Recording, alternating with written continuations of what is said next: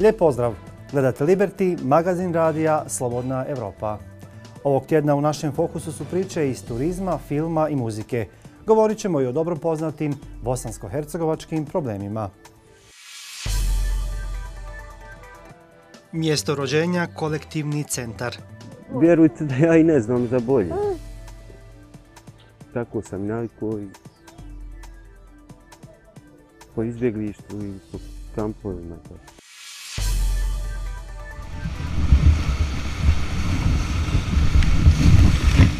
Sve više turista u gradu na Vrbasu. Banja Luka je raj za ekstremne sportove. Više puta je bila domaćin evropskih i svjetskih takmičenja u kajaku, kanu, padobranskim skokovima, te je nezaobilazna i kao planinarska destinacija. Ipak ono što najviše turiste privlači jeste rafting na Vrbasu. Kakva je sudbina bosansko-hercegovačkog filma? Sad je kinematografija spala na, na ispod 2 miliona, dakle budžet za ovu godinu je milion 700 uh, i 30 uh, hiljada maraka sa prijetnom novog rebalansa. Ove priče slijede nešto kasnije. Gost ovotjednog Liberty magazina je američka veliposlanica u Bosni i Hercegovini Maureen Kormark. Jedna od najaktualnijih tema u Bosni i Hercegovini, ali i u međunarodnoj zajednici, je odluka o referendumu o radu suda i tužiteljstva Bosne i Hercegovine u Republici Srpskoj. U intervju za TV Liberty, veleposlanica Kormak kaže kako vlasti u Republici Srpskoj trebaju povući ovu odluku jer je antidejtonska i antiustavna. Kakav je odnos e, međunarodne zajednice prema ovome što je uradila Narodna skupština Republike Srpske? Naime, hoće li biti i kakvih može biti sankcija i prema kome će te sankcije biti okrenute? Moram vam reći da je cijera, cijela Euroatlantska zajednica u stvari ujedinjena u svome djelovanju. Sve do sada zaista je bila ujedinjena u djelovanju i bila fokusirana na pozitivan put Bosne i Hercegovine. Svi smo davali podršku raznim evropskim inicijativama, inicijativama Evropske unije. Također radili na tome da pomognemo ljudima i u Republici Srpskoj i u Federaciji Bosne i Hercegovine razno raznim projektima E, projektima u kojima smo partneri sa raznim zemljama kao što je Češka republika, kao što je Švedska. No sada ono što treba da uradimo također jeste da zajedno radimo i da budemo partneri da bismo sankcionirali e, ljude koji su krivi zbog onoga što se dogodilo. Pošto se radi o ozbiljnim odlukama, odlukama koje utiču na živote ljudi, vode se ozbiljni razgovori i niko ne želi donijeti brzoplete odluke. Čini se da je period koji je za Bosnu i Hercegovinu bio obećavajući kada je riječ o njenom napretku ka Evropskoj uniji i NATO-u, a u kojem su i Sjedinjene američke države imale značajnu ulogu, već i za nas i da opet ulazimo u neku vrstu političke krize. E, kako će se Sjedinjene američke države odnositi prema tome? Sada mislim da treba da uradimo dvije stvari. Prvo da dajemo podršku svim građanima i svim političarima koji su spremni da budu lideri i da vode ovu zemlju naprijed, jer postoji vrlo jasan put naprijed za Bosnu i Hercegovinu. Evropska unija nije samo pripremila, nego je i utrla taj put za Bosnu i Hercegovinu i mislim da građani i političari treba da iskoriste to i da naporno rade na tome. Sjedinjene američke države naravno e, su partneri i žele biti partneri i političarima i građanima koji su spremni uraditi taj naporan posao. Ono također što e, treba učiniti, ako mi dozvolite da dodam, jeste da lideri u Republici Srpskoj treba da povuku i ponište ono što je urađeno, a to se odnosi na referendum, jednostavno da ga otkažu, ponište tu odluku, jer je to antidejtonski i antiustavno. Oni treba da omoguće Bosni i Hercegovini da idu, da ide putem kojim je krenula i kojim već ide i za koji su i oni rekli da su njemu posvećeni. A ako se to ne dogodi, onda svi mi, e, Sjedinjene američke države i drugi naši partneri, morat ćemo poduzeti pravne zakonske mjere da bi se to riješilo. Da li to što ste upravo rekli znači da Republika Srpska faktički nema pravo na referendum? Ne, ne. Ono što želim reći jeste da Republika Srpska ima svako pravo da održi referendum, ali samo referendum za koji ima kompetencije. Ovo pitanje na koje se e, odluka o referendumu odnosi nije pitanje koje spada u kompetencije vlasti Republike Srpske, nego predstavlja direktno osporavanje vladavine zakona, pravne države, državnih institucija. A svaka država da bi bila uspješna i da bi imala e, e, vladavinu zakona mora to poštivati. Šta po vašem mišljenju konkretno treba da uradi međunarodna zajednica kako bi bili odblokirani neki i politički i ekonomski procesi u Bosni i Hercegovini? Međunarodna zajednica, kao što sam već i rekla, zaista radi, radila i radi na tome da podrži Bosnu i Hercegovinu na njenom putu ka Evropskoj uniji, koji je za nju utrt. Znači, taj put postoji i Bosna i Hercegovina njime treba da ide. Zaista je na građanima da traže od svojih političara odgovornost koja je potrebna za te procese kretanja ka Europskoj uniji, da jednostavno rade na tome da se otklone blokade koje postoje, da se zaustavi korupcija koja je zaista ogromna i koja je smetnja u ovoj zemlji i da se otvore sve pozitivne šanse koje postoje. Vaša ekscelenciju, hvala vam što ste odvojili vrijeme za ovaj razgovor. It was a pleasure. Thank you so much.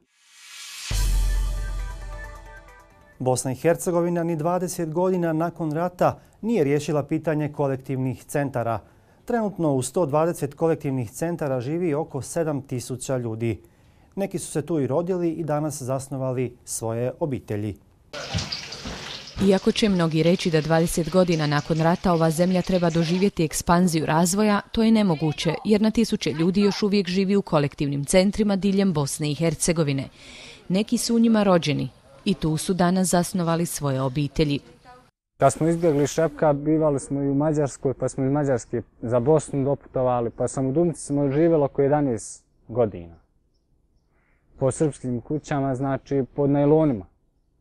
Prekrivali smo najlonima i tu smo živjeli dok nas nije opština ovdje prebacila.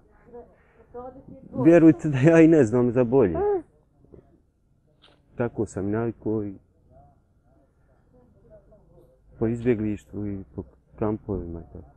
Nalazimo se, ako me neko pozove na dnevnicu, odem, zaradim, malo i ako idem, išao sam i po željezu i željezo sam skupljio ovaj otpad i prodavao sam, pomalo sam.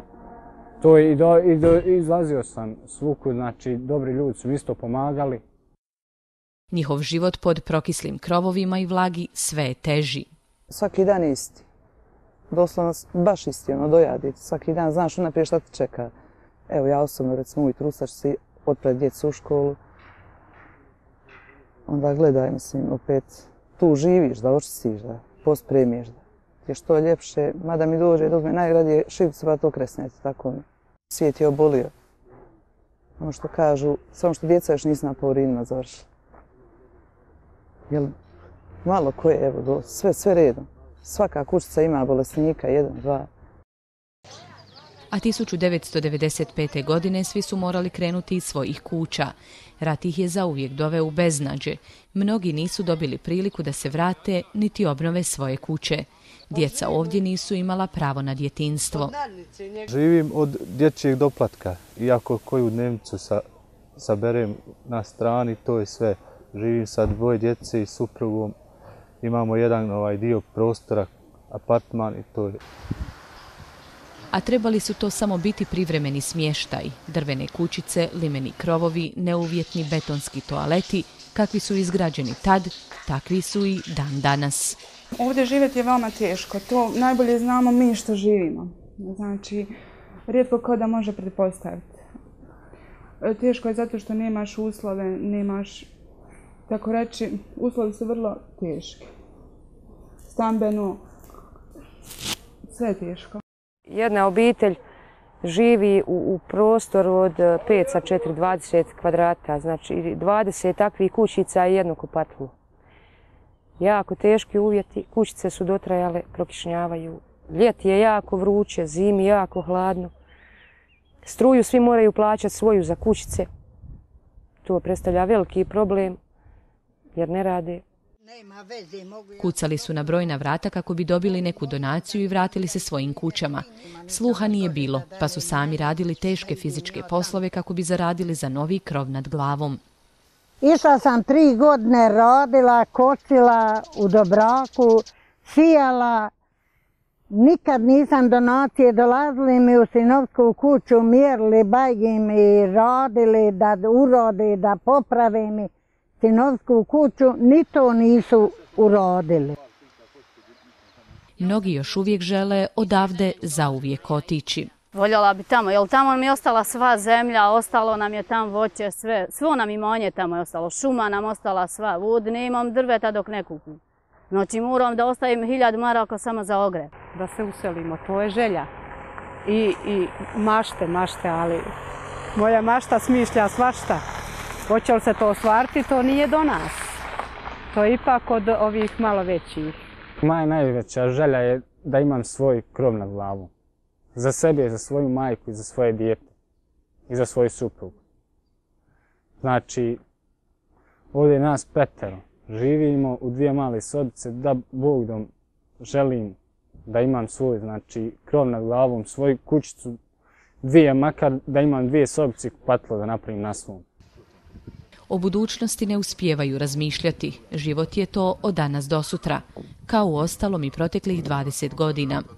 Ovdje nije život nikakav povratak i tamo isto kad pogledamo ovako na TV-u ili nešto i tamo nije zlatno i tako da budućnost je nikak.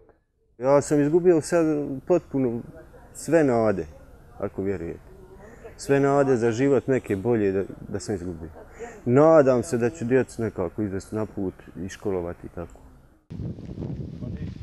S ovakvim ljudskim beznadžem Bosna i Hercegovina obilježava 20. obljetnicu Dejtonskog mirovnog sporazuma koji je donio mir, ali oduzeo dom mnogim njenim stanovnicima. U prvih pet mjeseci ove godine broj turističkih noćenja u Republici Srpskoj uvećan je za više od 20%. Prednjače gosti iz regije. Među omiljenim destinacijama je svakako i Banja Luka, koja postaje sve značajnija BH turistička atrakcija. Kraljica Zelenila, nevjesta Vrbasa i grad žena. Sve su to epiteti koje nosi Banja Luka.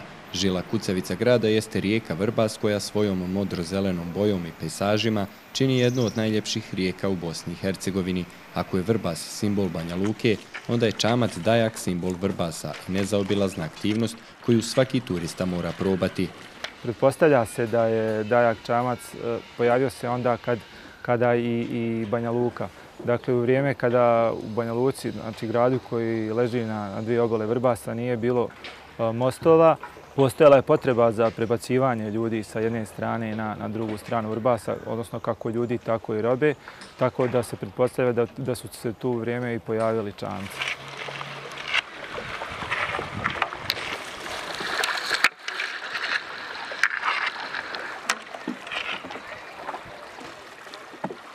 Dajak je jedinstven u svijetu, dakle Dajak čamac je jedino plovilo koje je sposobno da savladava e, planinske brzake i da, i da vozi se uzvodno. U svijetu postoje određeni čamci koji se uh, pokreću na sličan način, dakle motkom, kao što su punting boats u Cambridgeu. Međutim, oni, nisu, oni se voze po mirnoj vodi po kanalima i nisu u stanju da, da savladavaju planinske brzake kao što je to sposoban dajak čamac. Banja Luka je raj za ekstremne sportove. Više puta je bila domaćin evropskih i svjetskih takmičenja u kajaku, kanu, padobranskim skokovima, te je nezaobilazna i kao planinarska destinacija. Ipak ono što najviše turiste privlači jeste rafting na Vrbasu.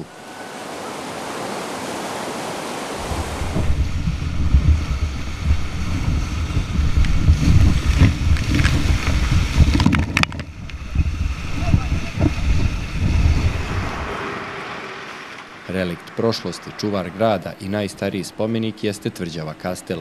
Prva zdanja ovog kompleksa potiču još iz paleolitskog doba. Vijekovima su razni osvajači, Rimljani, Osmanlije, Austrugari, nadograđivali ovaj bedem i prilagođavali ga svojim potrebama. Trenutno je u fazi obnove kako bi povratila stari sjaj, a nezaobilazna je etapa na mapi svakog putnika kroz Banja Luku. Na kastelu smo zatekli i turiste iz Poljske koji su prvi put u Banja Luci i nisu krili svoje oduševljenje gradom i ljudima. We like the people, we like the climate, we like the food and we will enjoy it for three days.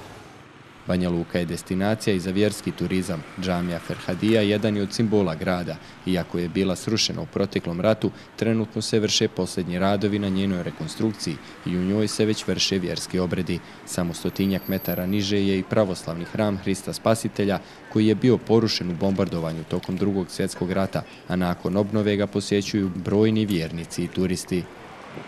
Iz turističke organizacije grada zadovoljni su ovogodišnjom posjetom, pa je tako za prva četiri mjeseca tekuće godine Banja Luka ugostila više od 20.000 turista. Raduje nas, dakle, da kažem da smo imali e, 31% više e, posjeta u odnosu na isti period prošle godine, a 24% noćenja.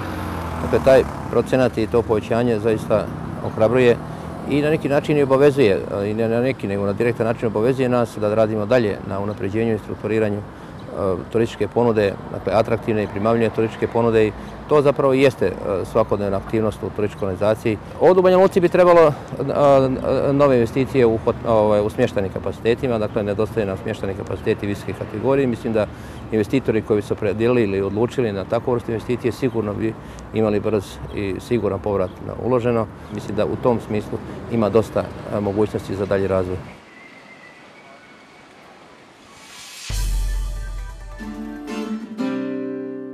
Ljepota i glas, dobitna kombinacija za X-faktor. Za X-faktor mi prijavio moj otac. to vas vidi na početku audicije za molitvu kako gleda. Na početku videa vas spominje. Za audiciju mi prijavio moj otac. Prijavila sam se to iz tog razloga da vidim što sam u svemu. Da vidim je li ja znam uopće pjevati.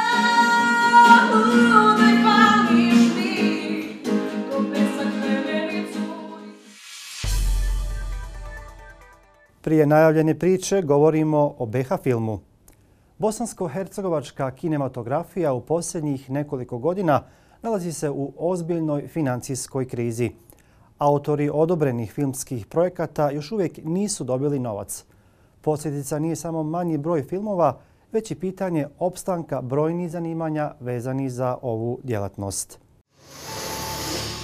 Jedna od naprednijih grana bosansko-hercegovačke kulturne scene zasigurno je kinematografija. Ovdašnji filmski radnici stekli su reputaciju dobrih poznavalaca sedme umjetnosti, čemu svjedoče brojne međunarodne nagrade i gostovanja na prestižnim festivalima. Ipak, godine političke krize i besparice uveliko se odražavaju na domaću kinematografiju. Moram reći da zapravo smo mi svi pomalo mazohisti koji se bavimo filmom u Bosni i Hercegovini, načito kada razgovaramo sa kolegama iz regije, čak dovoljno da odemo u Hrvatsku ili u Sloveniju, pa da ovaj, u razgovoru s njima shvatimo da neko moje generacije snima već deseti igrani film, što znači da je razlika između produkcije i mogućnosti produkcije u zemljama regiona i Bosne i Hercegovine uh, užasno velika. Naravno, na štetu Bosne i Hercegovine. Nemamo Međutim, neće samo Fondacija za kinematografiju koja djeluje pri Ministarstvu kulture i sporta federacije pomoći u punjenju budžeta za podršku filmskim autorima. Stoga su ovdašnji filmski stvaraoci pripremili zakon o kinematografiji koji je upravo dat na usvajanje. Barem da se vrati na taj iznos koji je već tada bio minimalan, a i sada, jer sada je kinematografija spala na, na ispod 2 miliona, dakle budžet za ovu godinu je milion sedamsto i 30.000 maraka sa prijetnjom novog rebalansa koji će dalje, dalje smanjiti se. Sanja, dobro se pripao. Kad nam ba rekao.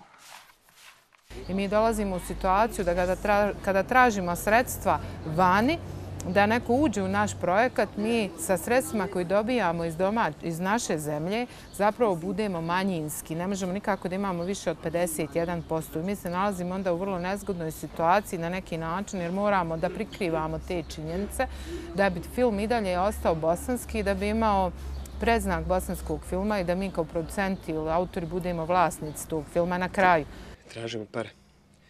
Duša ne bilišao sa mnom, nekako bilo mi lakše. Budući da nema izgleda kada će se kriza vlasti riješiti, režiseri pokušavaju sa što manje novca svoje ideje prenijeti na platno.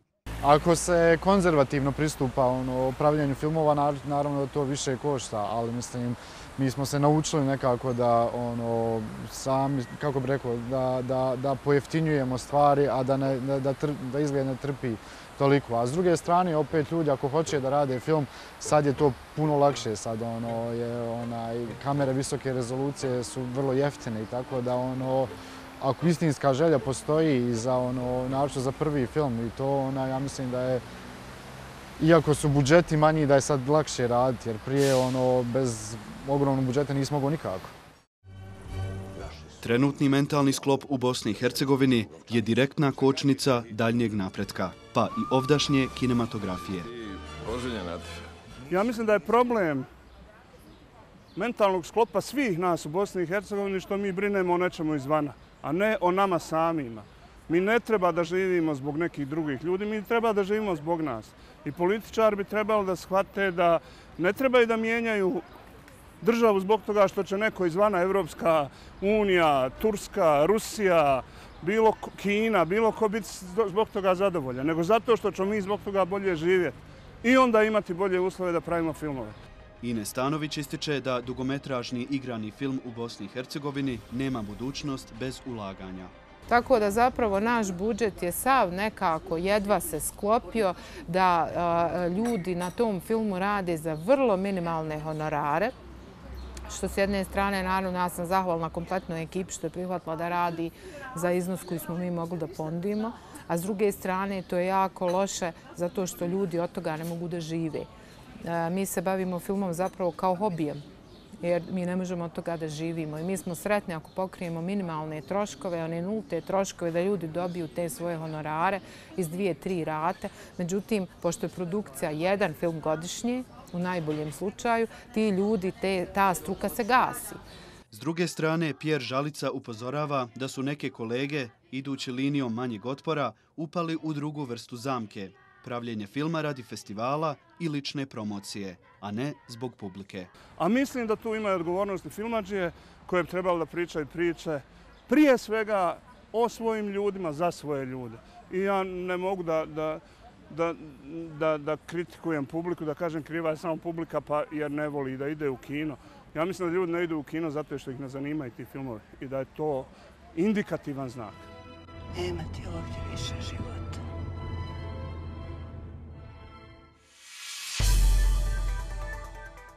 17-godišnja Magdalena Bogić iz Jajca s udjelovanjem u X-faktoru Adria za kratko vrijeme osvojila je cijelu regiju. Već nakon prve audicije uduševila je mnoge, pa je plasman u finale bio i očekivan.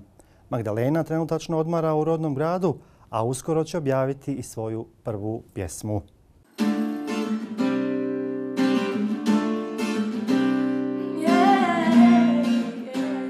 Za X Factor mi prijavio moj otac. to vas vidi na početku audicije za molitvu, kako gleda. Na početku videa da vas spominje. Za audiciju mi prijavio moj otac. Prijavila sam se to iz tog razloga da vidim što sam u svemu, da vidim je li ja znam uopće pjevati. Da mi kaže taj neko stručan, jer nikad mi niko nije prije ni rekao nešto onako konkretno.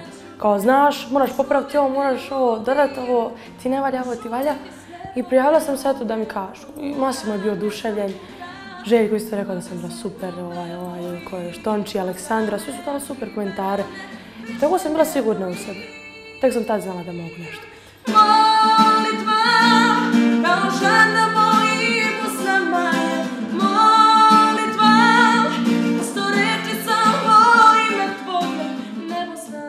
Trudila sam se da to ne bude, da X faktor ne bude ovaj, stresan, stresan period za mene, jer je to nešto što sam, mjesto gdje sam učila i škola gdje sam prvenstveno svašta, svašta naučila, možda što ne bi naučila narednih pet godina, da, nis, da se nisam uopće prijavila. I ovaj, to je nešto naj, najvažnije u svemu tome, što sam stvarno dosta toga naučila i što sada znam dosta toga. Moj život se dosta, dosta promijenio. Ovaj, sad kad vidim sve te ljude kada mi prilaze pa hoće da se slikaju, pa daj autogram, sve mi je to, bilo, sve mi je to sad smiješno, a, a sanjala sam o tome da mi se to jednog dana ostvari. Jajčani ne štedimo dlanove, pozdravimo našu Magdalenu Bogić. No, moji građani su toliko bili ovaj, oduševljeni, toliko, toliko se grad digao da nisam mogla vjerovati. Kad sam došla tu u jajce, toliko je ljudi bilo, ja sam bila oduševljena. Kad sam vidjela sve i tako mi je bilo lako pjevati pred njima. Došla sam, stala sam, pričala sam sa njima kao da ih sve znam, a zapravo bilo ljudi koji zapravo i ne znam. Kad vidim da su tu moji građani s kojima ja živim u svom gradu, bilo mi je lakše nego pred stručnim žirijom.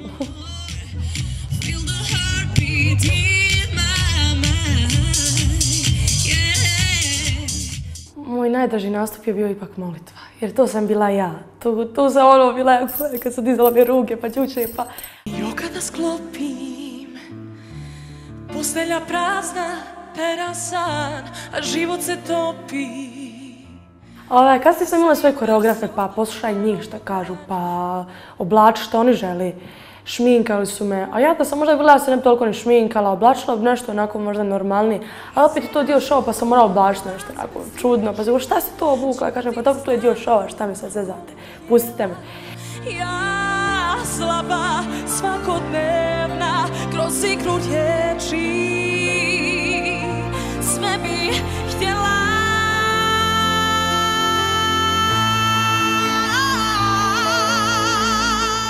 Dok sam bila na X Factoru, dok sam bila u Beogradu, upoznala sam dosta svakakvih ljudi.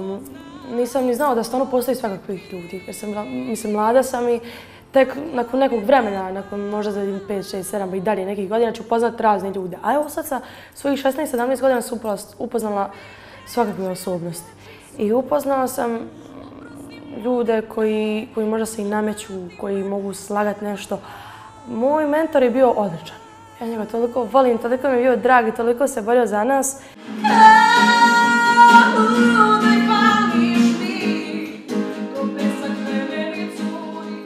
Pa najviše slušam Dinu Merlina, on je najdraži. I volim Kristinu Aguilera.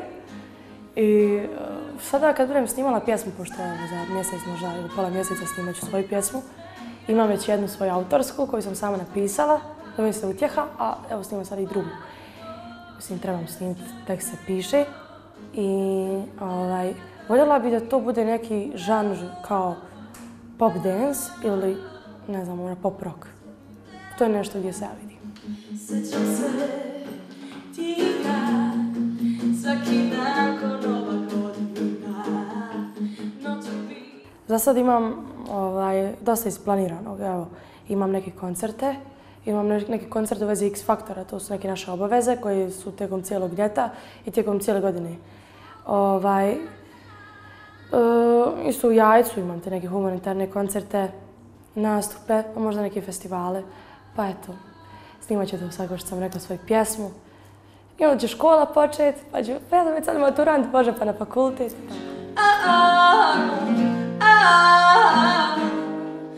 Kad sretnem te da ga vratim,